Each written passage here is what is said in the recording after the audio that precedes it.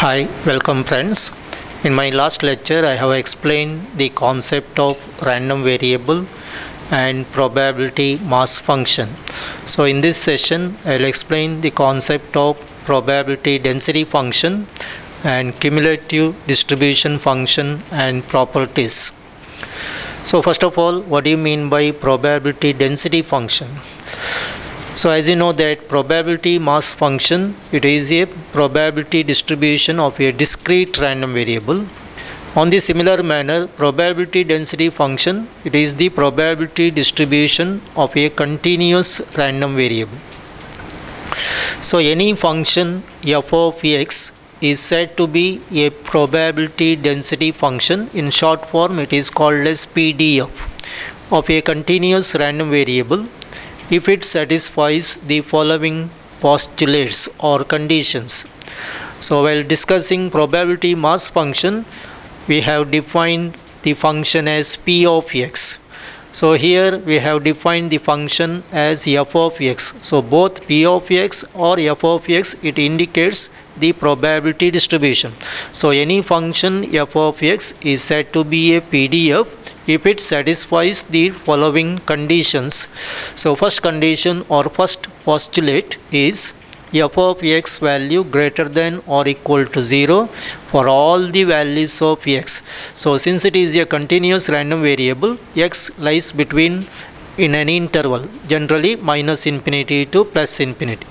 And the total probability so total probability in terms of integral so minus infinity to plus infinity f of x dx that should be equal to 1 so if these two conditions are satisfied then the function f of x is called a probability density function you can verify whether the given function is a PDF with the help of an example. For example, examine whether the following function is a PDF. So function is f of x is x into 2 minus x where x lies between 0 and 2. So obviously 2 minus x it is greater than or equal to 0 for all the values of x. So x is in between 0 to 2. So for any value of x in between 0 and 2, the function 2 minus x that is equal to that is positive. So for all the values of x over 0 comma 2.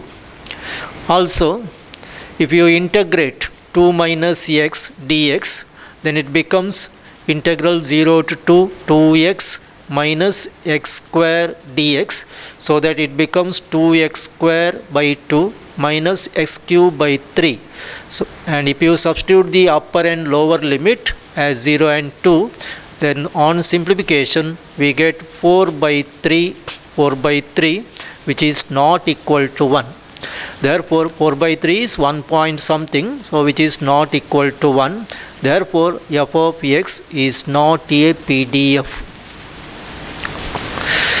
Next one distribution function or another name is called as cumulative distribution function of x. So distribution function of a random variable x is denoted by f of x capital letter f of x which is defined as probability x less than or equal to x. So capital X means random variable small x means value taken by the random variable Suppose if x is a discrete random variable, then the function is given by f of x that is equal to probability x less than or equal to x. So how to find out probability x less than or equal to x? So probability x less than or equal to x means sum of the probability distribution of x that is summation t less than or equal to x f of t for x lies between minus infinity to plus infinity where this f of t is called as probability distribution of x at the point t. So is called the distribution function of x. On the similar manner if x is a continuous random variable then the function is given by f of x that is same as probability x less than or equal to x. So that is equal to integrate f of t dt for x lies between minus infinity to plus infinity. And what is the limit of integration means integral from minus infinity to x. Why it is minus infinity to x means you, are, you have defined probability x less than or equal to x means maximum limit of x is small x. So that is why upper limit is x lower limit is given in the interval that is minus infinity. So that is why probability x less than or equal to x means integral from minus infinity to x f of t dt so is called the distribution function of x. Therefore distribution function is defined by the same formula. F of x is probability x less than or equal to x both in case of discrete random variable as well as continuous random variable. But in case of discrete random variable probability x less than or equal to x that can be written as summation t less than or equal to x f of t. Whereas in case of continuous random variable summation is replaced by integration. So that is integral minus infinity to x f of t dt. There are different properties of distribution function. If x is a discrete random variable or continuous random variable with distribution function f of x satisfying the following conditions.